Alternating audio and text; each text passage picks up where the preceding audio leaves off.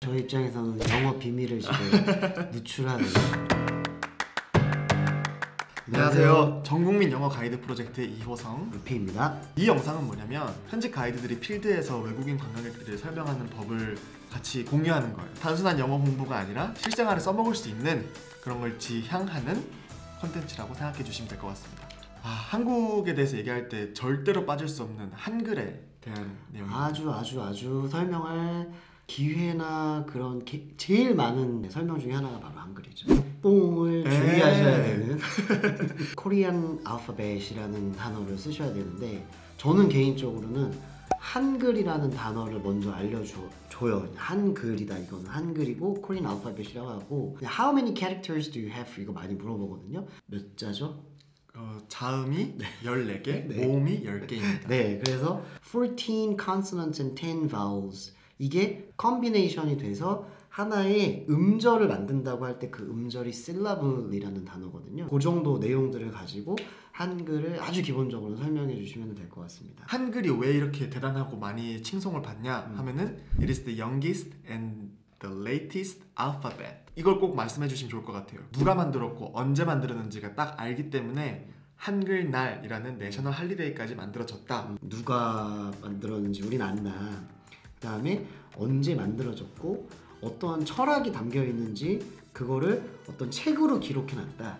그게 훈민정음 헤- 헤레본이라고 하는 책에 있고 그게 지금 현재는 유네스코 기록유산으로 올라가 있다. 어떤 북인데 which explains the principle of Korean 아, alphabet인 거죠. 유네스코 문화유산으로 등재가 되었다라는 등재라는 표현에 designate라는 표현을 쓰셨고 register 됐다는 표현, 음. listed 됐다는 표현, 뭐 recorded 됐다는 표현, 음. 뭐 여러 가지 표현들이 있어서 편하신 대로 그걸 얘기해 주시면 될 것 같아요. 요약을 하자면 어, most scientific alphabet, youngest, latest, 누가, who, and when 이 정확한 알파벳이고 그렇기 때문에 한글날이라는 national holiday가 있다. 그리고 그거의 원리라든지 아니면 기본적인 것들을 정리해 놓고 설명해 놓은 훈민정음 해례본은 유네스코 문화유산에도 등재되어 있다. Why is a scientific 음, alphabet or language 하면은 이걸 얘기해 주면 돼. 여기서부터 네. 약간 엎어야 돼. 일단 우리나라 자음이 어디서 왔냐면은 이 이게 발음이 될 때 여기 발음 기관에서 왔다고 하잖아요.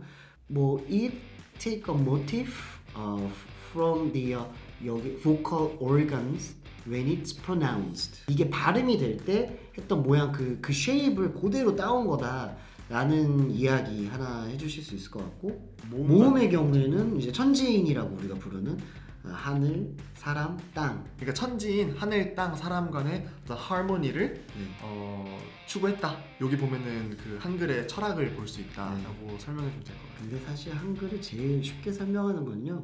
그 외국인 친구 이름을 그냥 한글로 써주면 돼요. 맞아요. 네. 광화문에 가시면 세종대왕 그 동상이 있잖아요.